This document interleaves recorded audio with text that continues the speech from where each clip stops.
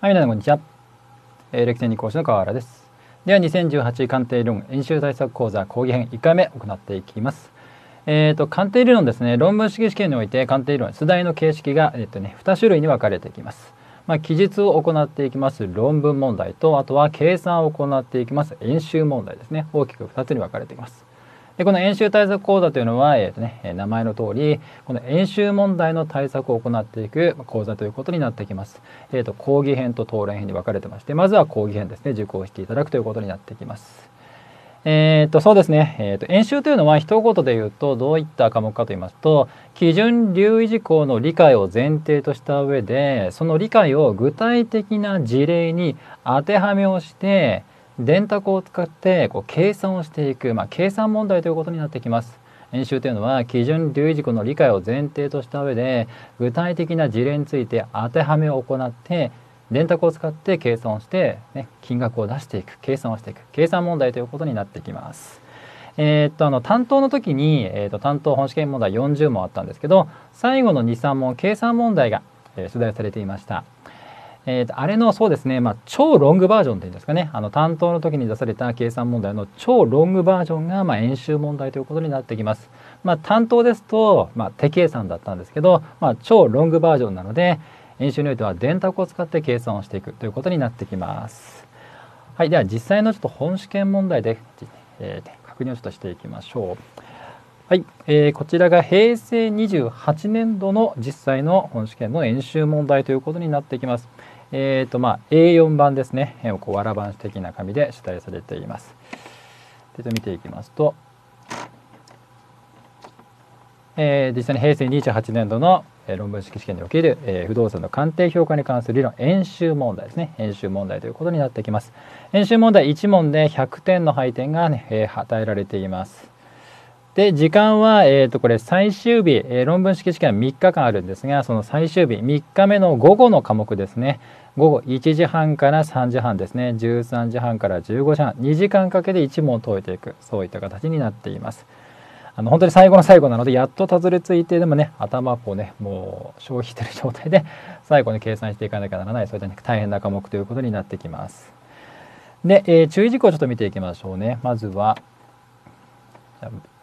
縦3のところを見てください。注意事項の縦3ですね。縦3。問題用紙は表紙を含めて17ページ、16、17ページの、えー、白紙は計算用紙ですとなっています。えーと、問題用紙が、えーまあ、表紙を除く、まあ、計算の部分ね計算用紙を除くと、まあ、14ページぐらいあるこう大量の問題用紙が与えられるということになってこうパラパラってめくっていきますとかなりの分量かなりの分量ですねこう賞味14ページぐらい実質的には14ページぐらい問題を与えられています。えー、っと論文問題の方は記述をしていく論文問題の方は、えー、と A4 のこう横版でで本当に問題も1ページですね問題たった1ページこうペラってめくると1ページあるそんな問題の分量なんですけど演習はかなりの分量ですね、えー、ともう10ページ以上の問題が与えられているそういった、ね、分量になっています。で続いて回答用紙なんですが縦3の2行目ですかね。回答用紙は表紙を含めて9ページですとなっています、まあ、表紙を除くと8ページほど回答用紙が与えられます、えー、やはり記述をしていく論文問題においては、えー、と回答用紙は、えー、と1問あたり2ページですね。1ページ25行かける2ページが1問あたり、まあ、それを2問出されますので2セットで、まあ、計4ページですね。2問で4ページが回答用紙として論文の方ですと与えられます。一方演習は、えー、まあ8ページですね。実質8ページ回答用紙が与えられます。かなりの量ですよね。で、えー、と再現したものがありましてこちらが平成28年度の演習問題の回答用紙ですね。再現したものになってきます。全部で8ページあります。でまず特徴としましては、えー、回答用紙にあらかじめ書くべき項目がもう印刷されているということになってきます。えーと、記述の方の論文式試験の回答用紙はあの白地ですね特に項目とかなくて白地25行で1ページでかける2ページですね特に項目とか示されていないんですが演習問題においてはあらかじめ回答用紙に書くべき内容項目が印刷されているということになってきます。で例えば問い1ですと求めるべき賃料の種類という形で1234567行ほど回答する行が示されています。えー、行数制限ということですね。7行以上は7行以上は7行以上は以上は、えー、記述することができないということになってきます。上限がね示されてるんだということになってきます。あの記述の方の論文式試験は特にこういった行数制限はないです。例えば、えーと、小問が3つ出された場合には小問123の分量というのはこう自分で判断をして分量を決めていかなければならないということになってきます。一方演習は分量の上限があらかじめ回答して制限されているということになってきます。行数制限があります。であとはそうですね特徴的なものとしましてはちょっと4ページ進んでいきますと4ページ。あらかじめ回答用紙に式が穴埋めの形でやっぱりね印刷されていますで問題文から必要な数値をこの穴に入れて計算をしていくって形ですねそういったこれ回答用紙になっていますあとはそうですね。じゃあ8ページとか見てみましょうかね。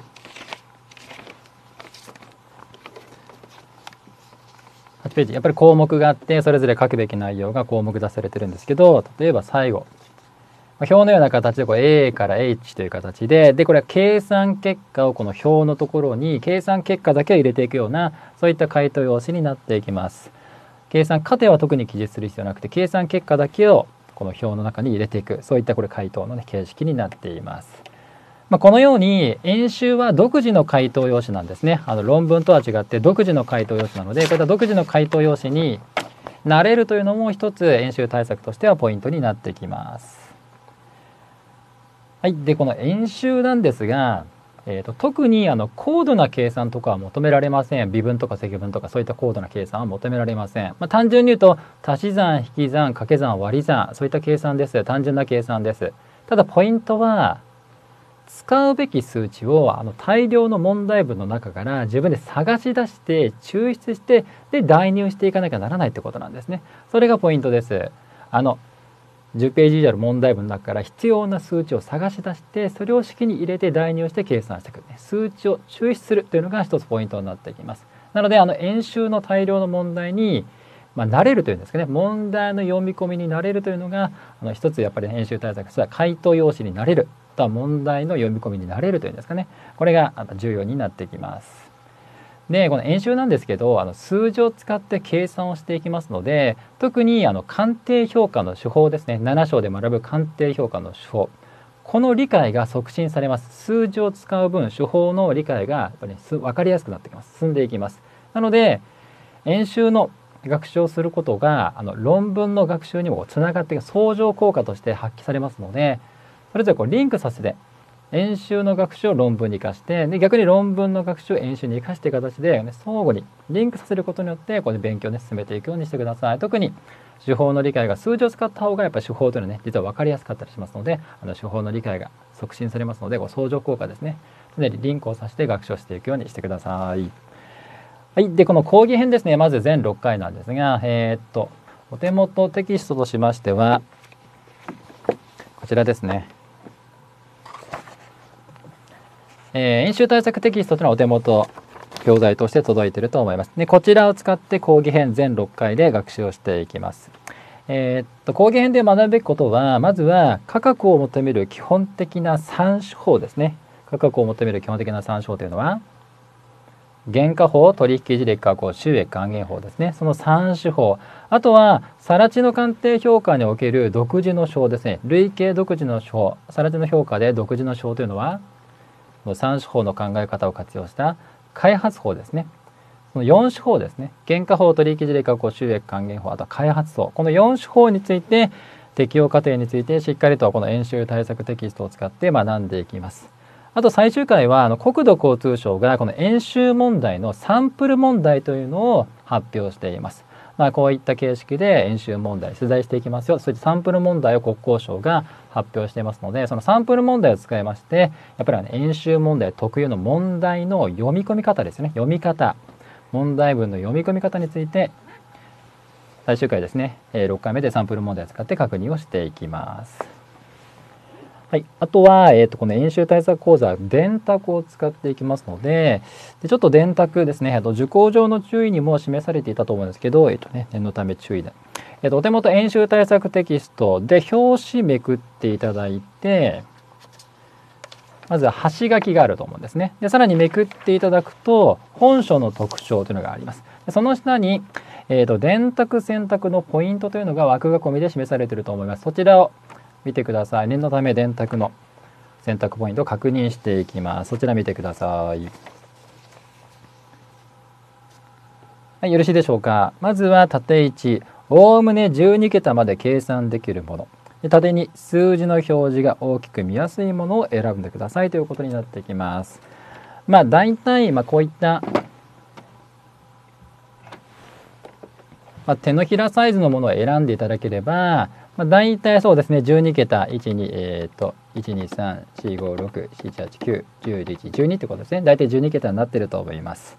まあ大体手のひらサイズのものを選んでいただくんだということになってきます。で続いて続きの文章ですね。続きの文章、えー、縦3ですね。縦3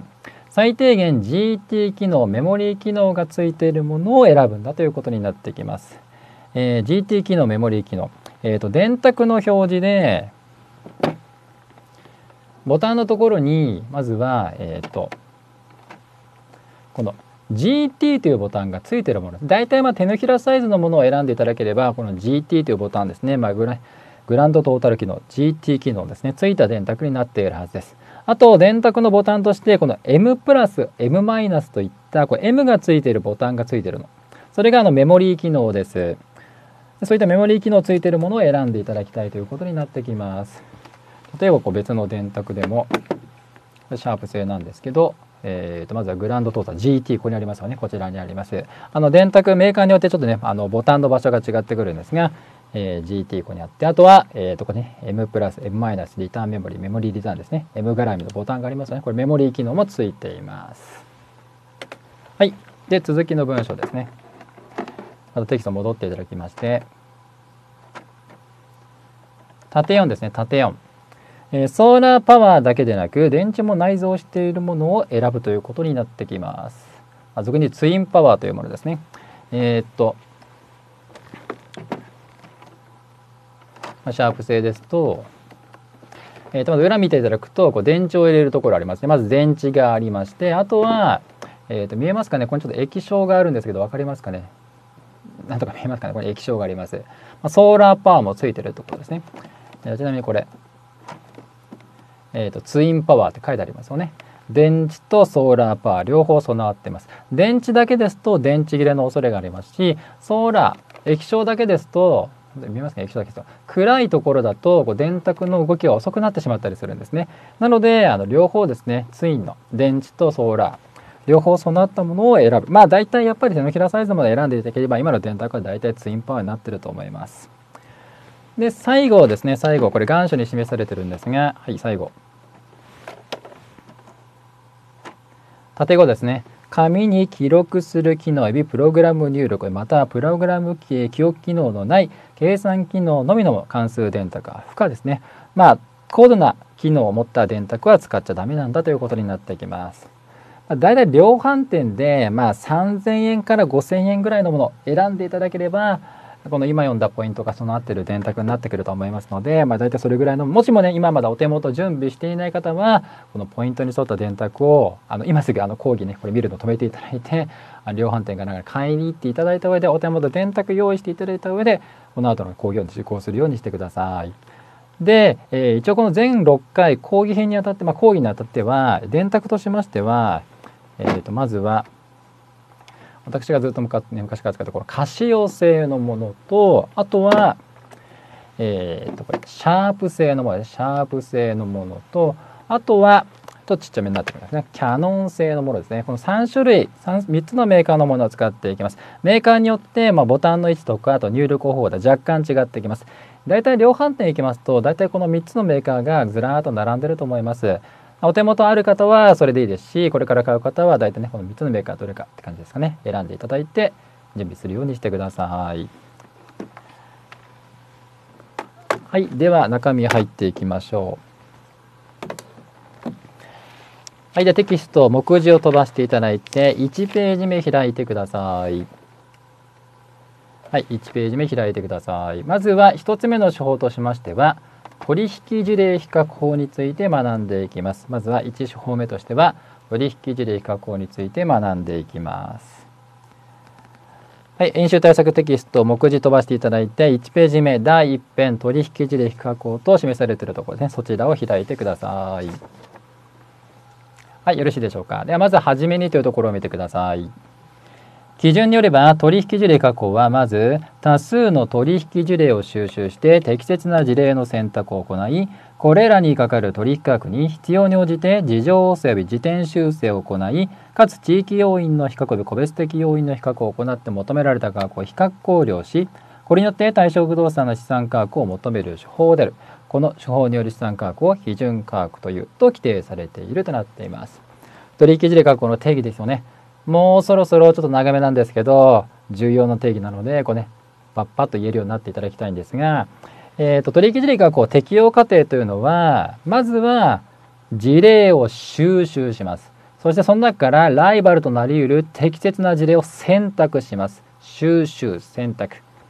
でその取引価格に必要に応じて事情補正で時点修正さらには地域要因個別的要因比較要因比較。で行ってでそれぞれの事例から求められた価格を比較考慮し結論としての批准価格を求めていく。そのような適用過程になってきます。事例の収集選択事情性時点修正要因比較ということになってきます。で第2段落見てください。試験ではあらかじめ取引事例が収集されているため適切な事例の選択以降の作業を行うことになってきます。演習問題本試験においては事例の収集まではすでに問題の中で行ってくれてるんですね。皆さんが行うべき作業というのはそれ以降つまり事例の選択以降から皆さんは判断をしていく必要があります。どういったことかというと、じゃあ、国交省のサンプル問題で確認していきましょうかね。演習対策テキスト114ページ開いてください。114ページ開いてください。端末に国交省のサンプル問題が示されているんですが、114ページ開いてください。はい、114ページ開いてください。よろしいでしょうか？端末国交省のサンプル問題です。114ページ。で下目のところに資料5という形で事例資料等の概要というのが表の形で示されています。つまり問題文であらかじめ取引事例が表の形でこう収集されてるんですね。下見ていただくとまずは標準値1というのはこれね工事価格のことでしてで2つ目が取引事例 E で115ページ上行っていただいて左端ですね取引事例ロー取引事例は取引事例にほという形であらかじめ事例が収集されています。でここからこう選択段階から皆さん判断を行っていくということになってきます。あらかじめ問題文で事例が事例が表の形で収集されています。はい、でまた1ページ戻ってください。はい、1ページ戻ってください。はい、では最終段落見てください。最終段落。試験において取引事例比較法は更地に適用することが通常であるため本編では基本である更地価格を求める場合について学習をしていきます。これ必ずですね今までの演習問題過去問常にこの更地について取引事例比較を適用させる問題が出ていますのでまずは基本であります更地に取引事例比較を適用する適用過程ですねしっかりと学んでいきます。はい、では2ページ進んでください。2ページ進んでください。はい、2ページ進んでください。はい、今読んだ定義が、えっ、と、ローマ数字1という形で、取引事例加工のこのフローという形でこうナンバリングされて示されています。まあ、定義の手順の流れが、まあね、ナンバリングされたフローの形で示されています。で、その丸456のところを見てください。丸456見てください。丸4取引事例の個別的要因の標準化補正。丸5地域要因の比較。丸6対象不動産の個別的要因の格差修正となっています。この丸456これ何をやってるかというと要因比較を行っています。つつまり地域要因の比較個別的要因の比較を行っていきます要因比較基準で取引事例比較法のところで要因比較のやり方が基準上2つ示されていたんですが2つ分かりますかね？取引事例加工における基準のところで要因比較のやり方が大きく2つやり方が示されていたんですがそれは直接的に要因比較を行う方法とあとはそれぞれの地域における個別的要因が標準的な土地を設定して間接的に要因比較を行う方法と2つの方法が取引事例加工のところで示されていました。ここで示されている丸456というのはこれは間接的な要因比較の行う方法がこれ示されています。それぞれの地域において個別的要因が標準的な土地を設定して間接的に要因比較を行っていくやり方が丸456という形でこれ示されています。えー、と3ページ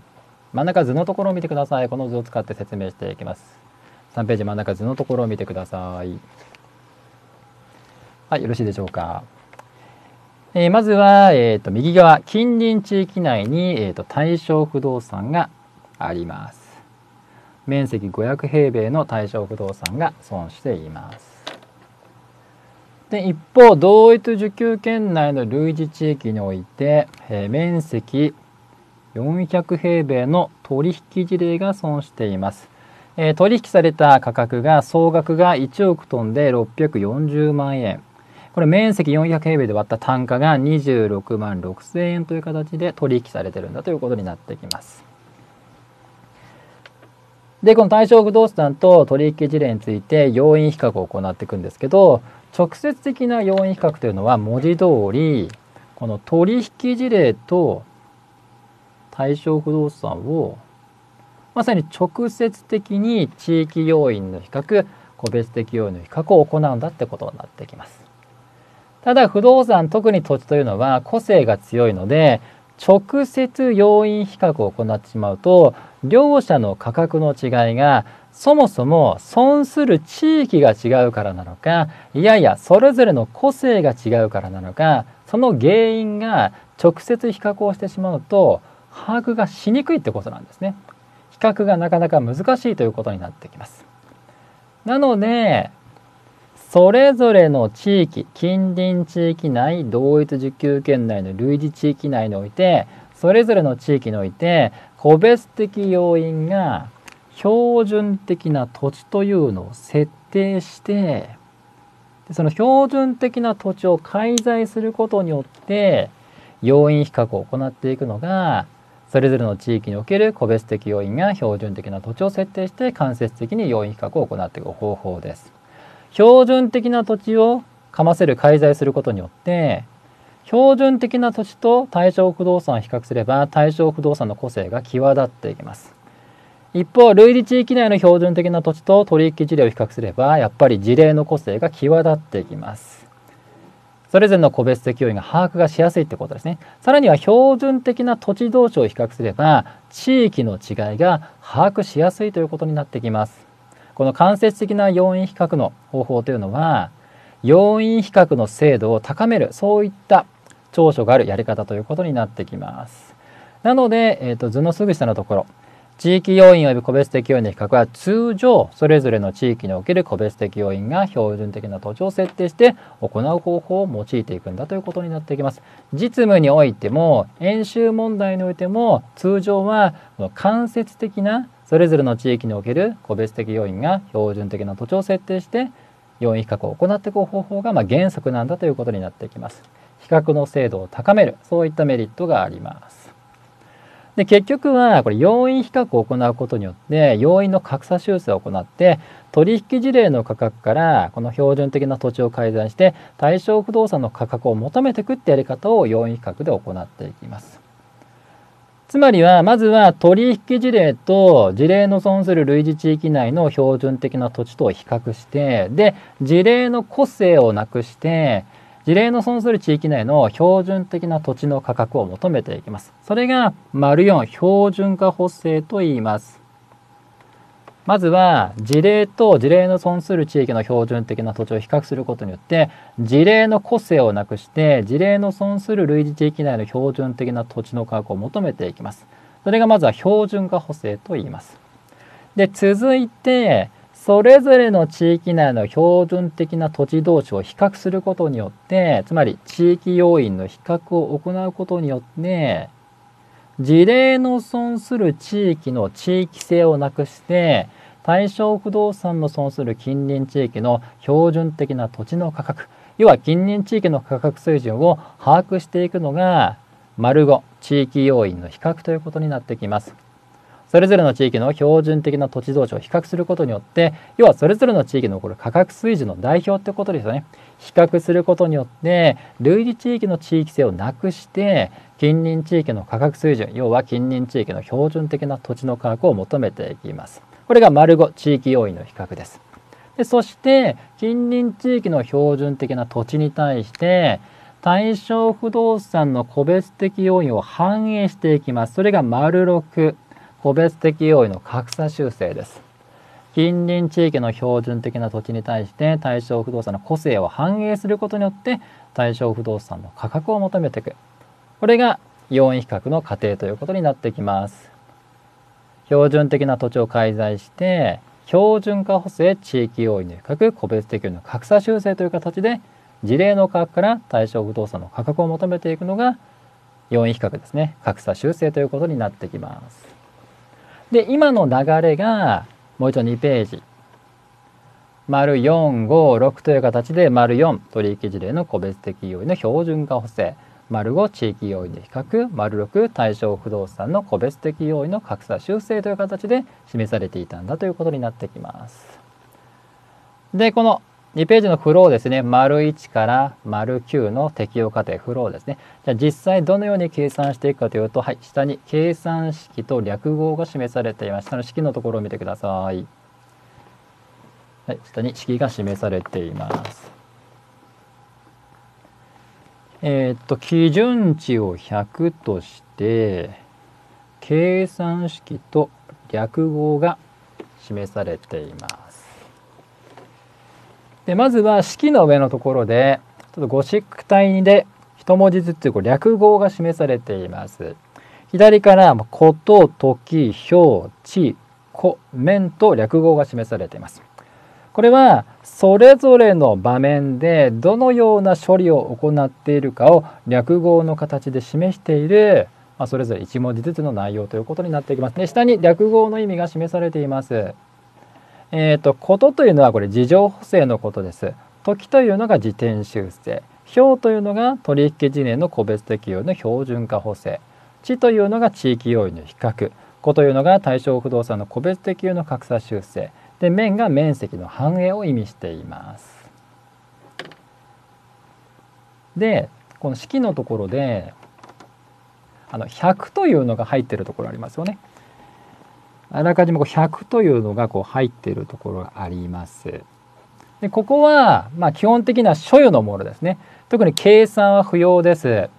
まあ、100というのを式の穴に入れていけばいいということですね。100と書かれているところは、まあ、所与前提とするところで計算不要ってことですね式に100を入れていけばいいつまり要は文書が書かれているところありますよねこの文書の書かれているところについて大量の問題文から適切な数値を選び出して代入していくって作業が必要になっています例えば一番左事情性のところ分母のところで取引事例の取引事情に関わる補正率ってありますねこれを問題文から探し出してこの分母に数値を代入していくって作業が、まあ、それぞれの文章のところで必要になってきます。でまずざっくりイメージなんですけどどういったものを入れるべきかというとまずそうですね。えー、っとこの分母ですね。分母。下のラインです。分母。分母にはどういったものが数値としてこれ入るかというとこれは取引事例。省略形で。取引事例。に関わる数値が分母に入っていきます。要は資料事例ですよね。事例に関わる数値が分母に入ってきます。取引事例加工のこの計算式において分母に入るべき入れるべき数値というのはこれ事例つまり取引事例に関わる数値が入ってくるんだということになってきます。一方分子ですね分子。上のライン分子。分子には何が入るかというとこれ求めるべきものの数値が入ってきます。つまりは分子には対象不動産省略形で対象不動産の数値が分子には入っていきます。分子には求めるべきものつまりは対象不動産の数値が分子に入ってくるんだということになってきます。まずはざっくりとそんなイメージでこの取引事例加工の式ですよね。えー、下のライン分母には、まあ、事例です。取引事例の数値。一方上のライン分子の方ですね。分子の方には、えーと、対象不動産求めるべき対象不動産の数値。分母には取引事例。分子には対象不動産に関わる数値が入ってくるんだということになってきます。まずはざっくりね取引事例加工の計算式と略語をですねイメージするということになってきます。じゃあちょっと一旦ここで切っておきましょう。はい。じゃあ、をもちまして、第1ユニット講義の方を終了いたします。